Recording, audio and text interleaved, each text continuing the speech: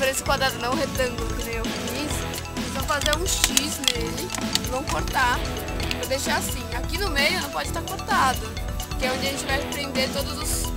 Então assim, ó, um fura, outro não, um fura, outro não, um fura, outro não. Então imagina que tem que deixar um espacinho também pra furar. Vocês estão vendo como que é?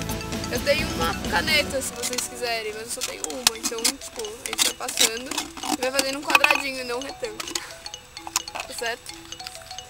Daí depois vocês passam pra mim eu vou furando pra todo mundo e a gente termina.